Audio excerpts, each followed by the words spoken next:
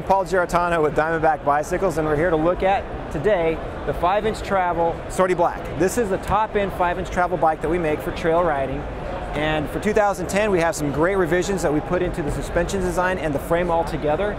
The knuckle box has been completely redesigned for 2010. We have double bearings and all the seat stay pivots, Enduro Max bearings that are American made that make this thing a really, really beautiful ride. We left no tube untouched on this bicycle and we actually dropped about a half pound weight out of it with all the goodies like SRAM XO components, uh, Mavic uh, Crossmax SLR rims, a Fox float fork. You can't beat this guy at just over 26 pounds. I love this bike.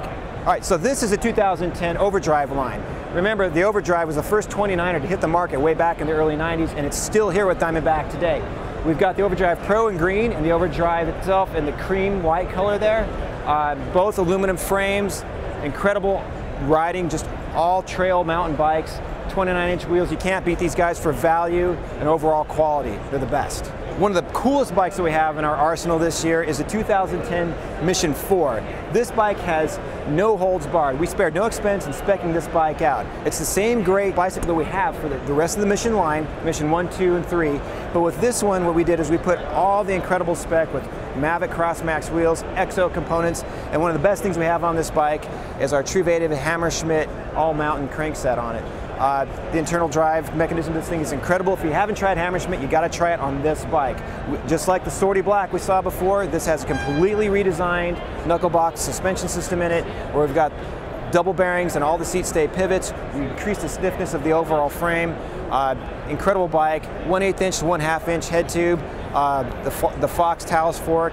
You can't beat this bike. It's going to be a little spendy, but boy, we're really happy to have this bike as one of our top end bikes for 2010. 2010, we have the Scapegoat bag for its third year. And this year, just like the Mission and the Sortie, we, we changed everything about it. The cool thing is now, it's still a six inch bicycle like it was before, but it has the exact same frame as the Mission, which just shows the versatility of the Mission frame.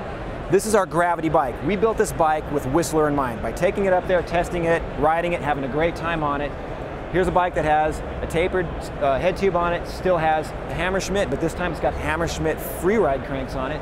Um, we tricked it out with all the XO components, Avid Code brakes, and a Burlier Fox um, RC2 fork on it. This bike really, really rips it. If you're into gravity, this is the bike that you want to go with. And boy, you can't beat those graphics. Mission 3. Here's another iteration of our expanded Mission line this year. We normally usually just have a Mission 3 as our top end, but you've already seen the Mission 4. What makes this bike so great is it's not nearly as pricey as the Mission 4, but you still get a lot of the same components. You still get the great Mission frame, redesigned knuckle box, and you still get Truvativ Hammerschmidt on this thing in the all-mountain version. Except the bike is just going to be a little bit more utilitarian, still a great bike for ripping it all mountain style. You can ride up, you can ride down, and have a great time all day on this bicycle. Super stoked to have this in our line.